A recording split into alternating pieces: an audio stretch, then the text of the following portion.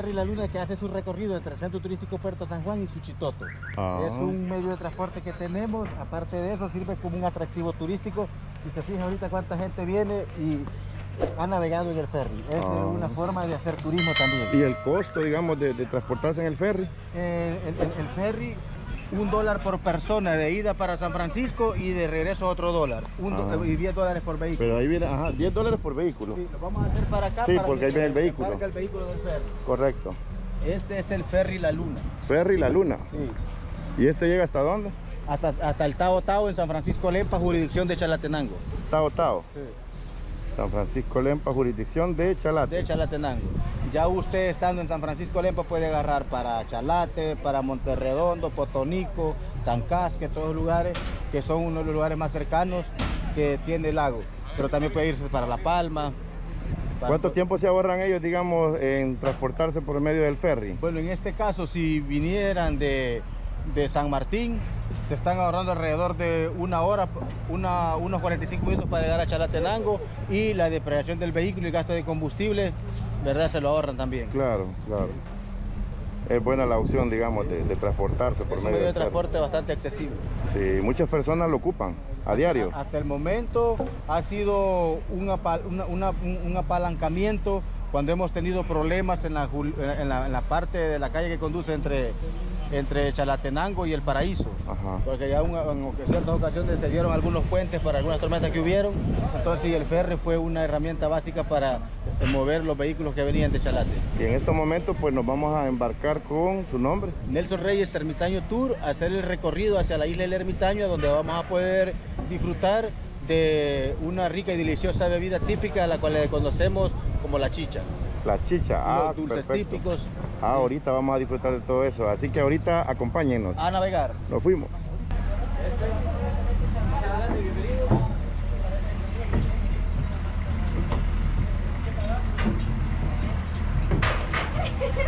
¿A dónde me siento? La parte de la niña y después se queda de ese lado. Ve la parte de la niña. Se va a quedar delante de la niña de acá. Acá estaría. Aquí. Ahí está bien. Excelente. A disfrutar del tour.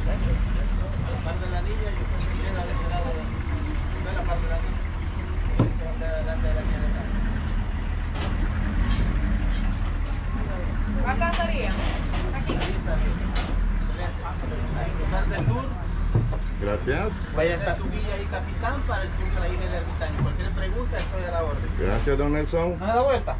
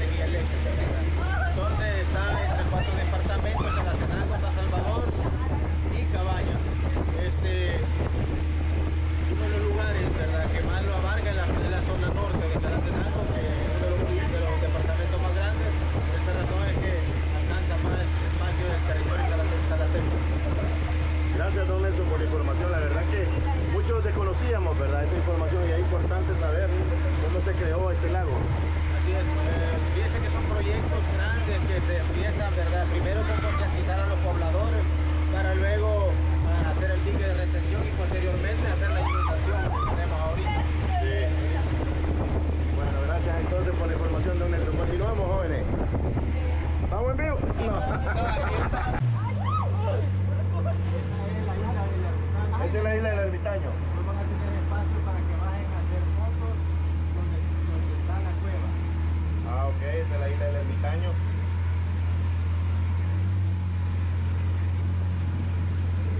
¿Y le dicen el ermitaño por qué? Porque vivió una persona por 14 años. Ah, 14 años vivió una persona ahí. Aquí estamos en la isla del ermitaño. Eso. Excelente. Caminen ahí para arriba que van a llegar hasta ver el sol que se está poniendo. Y es de aprovechar ahorita porque allá Bueno, veamos ahorita la puesta del sol. Este es el sendero norte, eh, sur y este es el sendero norte. Mm. Cuando eh, eh, está yendo, nosotros desembarcamos en aquella área Como está normal. y cuando está normal. sí. Ay, qué chivo se ve. Allá bajando por el aeropuerto. Bueno. Ya nos van a dar la, la historia. ¿Vos crees que Ese- todavía sirve? Este es el mirador de la isla del Ermitaño. Yo soy el actual habitante con mi familia acá, ¿verdad? Vamos a permanecer un momento, luego les voy a contar cómo hice para rescatar al soldado, el día y la hora en que esta aeronave despegó, quiénes eran los que la, capitane la piloteaban, parte de la tripulación, qué día se trajo esta aeronave para acá y la hora, ¿verdad? Vamos a acercarlos para acá para que conozcamos. Sin embargo, podemos aprovechar parte del atardecer. Si gustan este, ver los recuerditos y comprar algún recuerdito ahorita, todavía estamos a tiempo. Y el que, que guste bajar donde está la venta de dulces, allá abajo lo puede hacer. Es más, se lo recomiendo para que vaya a conocer dónde está la cueva, donde vivió el ermitaño. Y ahí tengo una fotografía de quien en su momento era Carlos Manuel Emo Martínez viviendo en la comunidad de Copapayo. ¿Sí? Vamos a ver. Es interesante toda la información que nos da aquí don Nelson. Es un guía turístico certificado. Ustedes lo pueden buscar. ¿Verdad? De su número, don Nelson. Eh, bueno, me pueden buscar en Facebook como Ermitaño Tours o este, escribirme a mi WhatsApp al 7694-3782, ya que cuento con todas las credenciales como guía turístico y tour, tour operador acreditado por la Corporación Salvadoreña de Turismo y tengo el Ecotours del Ermitaño. Perfecto, ya escucharon ahí todos. Así que no lo olviden cuando vengan y quieran darse un buen tour y saber todo lo que ha pasado acá en el lago Suchitlán, pues con don Nelson. Continuamos. Dulces. ¿Van a bajar? Bueno, me despido. Y me aviento yo. ¿Cómo es así? Agárrate de ahí, cabal. Abajo, luego suben de nuevo para que eh, co- continuemos hacia arriba. Yo voy a bajar. Ten cuidado. Ahí sí me. Dame el teléfono. No vas a bajar. Todavía tengo. Pues, que me hacia arriba. Sí. No, para arriba hoy. Ahí, ahí nos trae dulces. Ay, tomen video. Tomen video. Luis lo lleva el teléfono. Sí, Luis lo lleva el teléfono. Compren dulces. Ajá, decime, te, te costó la bajada ahí en la grada. Pues, la verdad, algo cansada, pero fue un poquito de miedo, pero ahí estamos, ya aquí. Mira, nos han dejado, nos han dejado perdidos aquellos. Sí, nos hicieron Solo bajar. nosotros dos nos dejaron que viniéramos aquí, pero bueno, modo, nosotros damos la cara ahí por, por nuestro canal. por su canal. No, y podemos ver que aquí andamos en la isla El Ermitaño, que es una de las tantas islas que hay aquí en el lago de Suchitlán. Ya nos van a contar por qué es que se le llama El Ermitaño. Y podemos ver que aquí hay una ventecita de recuerdos y de dulces. Vamos a ver. Buenas.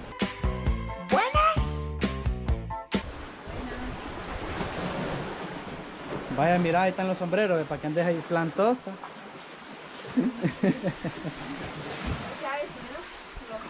Dale, dale, échate ahí el carbonero. No me lo puedo. A ver qué hice, va, pero va. Eh, a la Leti que tengo entendido que ha tocado en bandas o instrumentos, a ella le hubiéramos dicho que hubiera venido. mira. Sí, la Leticia estuvo en la banda y tocó lira. Te digo que más, más, más o menos hace algo así. Mira las famosas hundillas, ¿ves? El Luis. ¿Qué pasó? Espérame, es que, mira, que me concentro, mira. Mira las famosas hundillas, ¿ves? Las famosas ondillas cuando vos agarrabas a los, a los pobres pájaros. Ay, El nombre de esta bicha aquí, como la ven, se ponía a estar ahí aventándoles a los pobres animales. Y mira, ve esto, ve. Mira. Voy a ver qué es esto. un rascapió. no, es para, como para hacer masaje. Para que te estés haciendo masaje. No, podemos ver que aquí en la isla del Ermitaño hay bastantes productos que usted puede comprar. Llevan recuerditos ahí por lo, lo que les gustan ahí los carros. Las tazas de El Salvador. Yo amo El Salvador. Así que, no, hombre, está bien original. Y mira aquello ve, con lo que te rascas la espalda. o para darte masaje. No, sí, la verdad es que bien interesante. Hay muchas cosas. Bueno, y también estamos aquí con la con una de las señoras que aquí tienen una su ventecita de podemos ver ahí los dulces típicos. Aquí los está preparando ella. ¿Nos puede comentar ahí qué es lo que está? Este es maní tostado. Maní tostado. Sí, maní. Que se ve ahí. Maní tostado, podemos ver ahí la preparación Este es maní. para todos los turistas que vienen aquí a la isla del Ermitaño.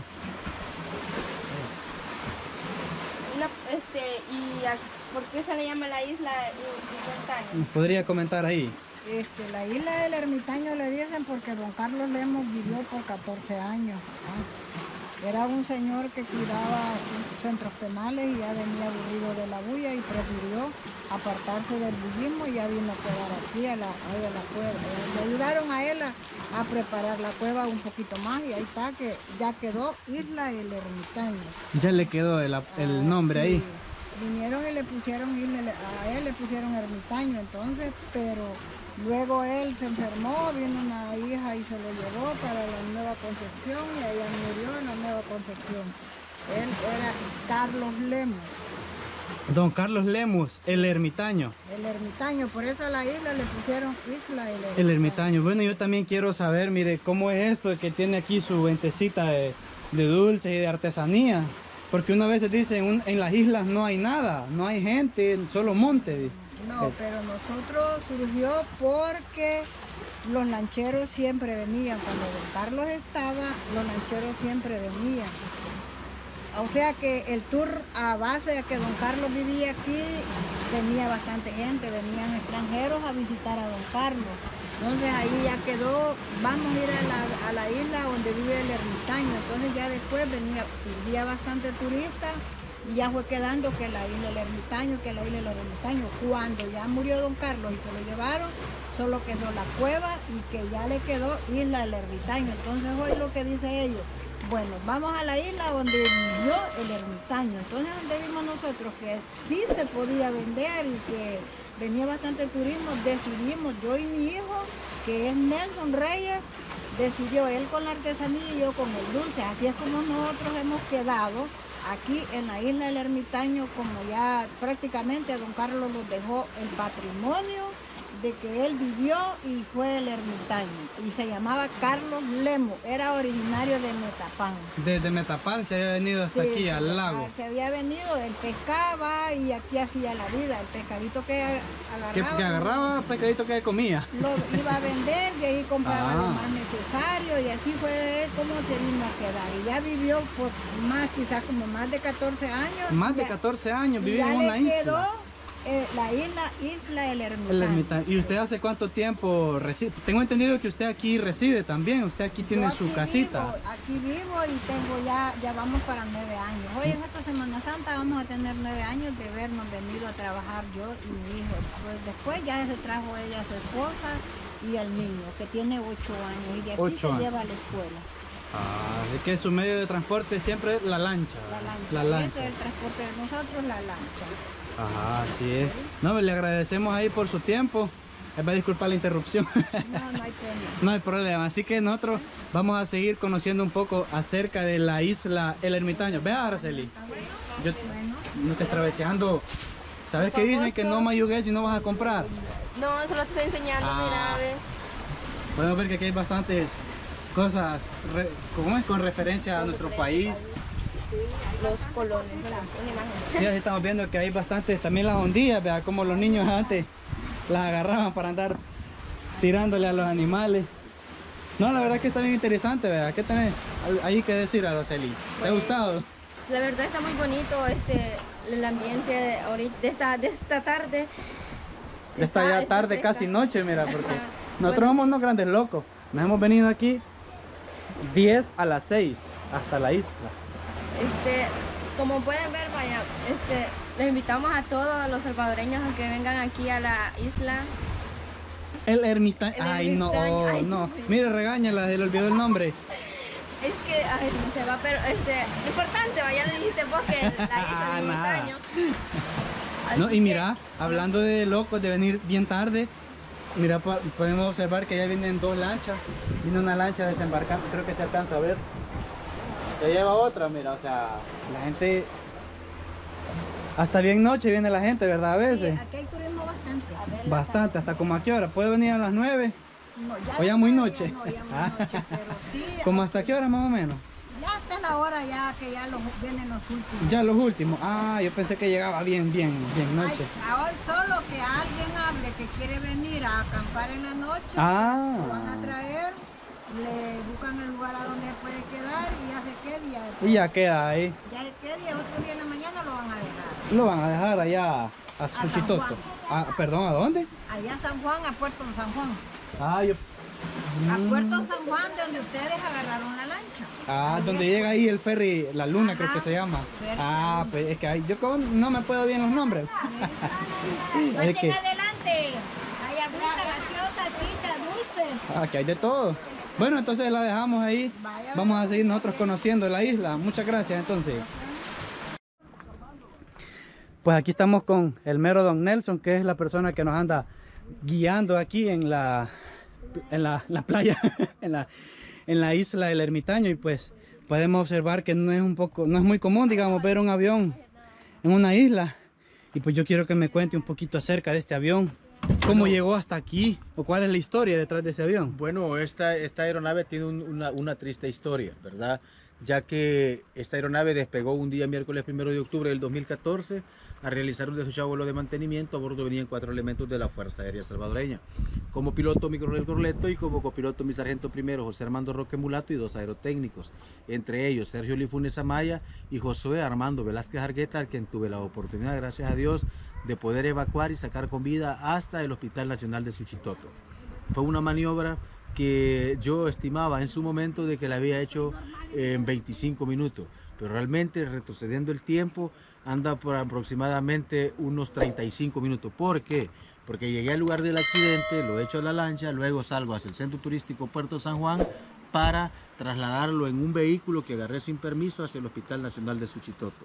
Habiéndolo dejado allá, eh, venimos al lugar donde cayó el avión y empezamos con la maniobra de sacar los cadáveres de los tres que fallecieron.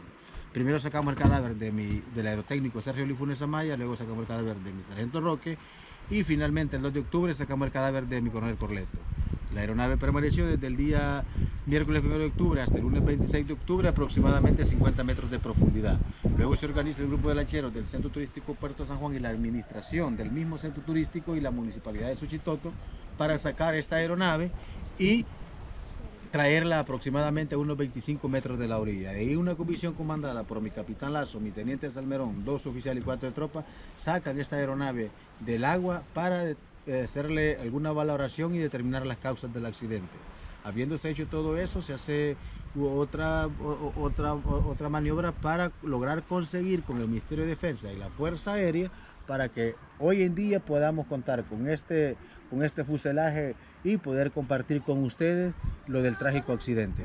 Entonces esta aeronave se estrelló ahí en el lago. A mediación de lo que vemos acá en este lindo y hermoso atardecer, ¿verdad? Mediación exactamente entre la isla del Ermitaño y la cascada de los, de los tercios. La cascada Los Tercios. Sí. Sí. lastimosamente ahí, pero es un poquito de la historia de aquí, de, del lago Suchitlán. ¿verdad? Sí, eh, ya que nosotros acá hemos tenido varios accidentes, pero todos fueron relacionados durante el conflicto. Mm. Este accidente no fue... Nada que ver con la famosa guerra que- Nada, nada con esa guerra, no. Esto fue un accidente que ocurrió ¿verdad? Por desperfectos mecánicos, no fue que alguien lo haya derribado. No fue que le tiraron una bomba ni Ah, nada. Así es, sí.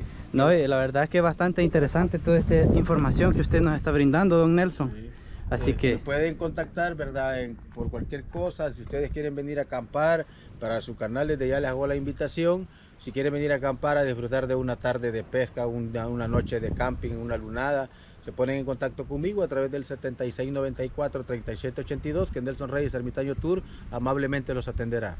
así es, así que ahí está, ahí les queda el número de contacto de don Nelson para que las personas aventureras, ¿verdad? Que les gusta el, el supuesto, sí. campamento en los lugares de la naturaleza, digamos. No tan Pues, comunes, porque si, Exactamente. si enfocamos esa parte rocosa, imagínense qué bonito estar acá una tarde tomándose un café, cocinando una carne o haciendo un asado. Ahí con los amigos, con la familia, ¿verdad? Por supuesto. No, la verdad es que sería una experiencia de 10, como dicen. Así es. Así que bueno, ahí continuamos con nuestro tour aquí en la isla del Ermitaño. Sí, eso. Ay, tomándose Ay, foto. Un saludo ahí para los amigos que las están viendo. Ay, que, ni. Que de hecho no sé si les ven las caras, pero creo que ya saben. Yo soy Saraí. Hola, Soy Araceli. ¿y vos quién sos? ¿Y ¿Cuántos somos? ¿Y juntas qué son? Las chicas superpoderosas. Somos El Salvador, podemos. Ay, no, ay, El no. Salvador por el mundo. Ahí van a disculpar, Mundo oye. mundial. Ah, el mundo mundial. Oh, sí. ¿Y qué les ha parecido a las tres ahí, ya que están ahí las está chicas muy bonito, superpoderosas? está muy hermoso, me encanta. O sea, ¿Vos sabías que yo iba en ese avión? no, fíjate. Ya ves. Era, era. La verdad andamos. Estaba bien bicho en entonces. Andamos, que andamos. andamos conociendo un lugar muy hermoso, parte de nuestro pequeño El Salvador, pero miren las grandes vistas hermosas que tienen y pues pueden venir a disfrutar aquí a darse un tour. Y también a bañarse, la respectiva bañada que... Ahorita a bañarnos vamos allá, ve allá abajito. Ay, ¿Verdad no. que no te bañes? A bañarnos dice vamos todos entonces. Vámonos, pues. No, Así que démosle pues. dice, Nos vamos, dar nos vamos a transportar para allá.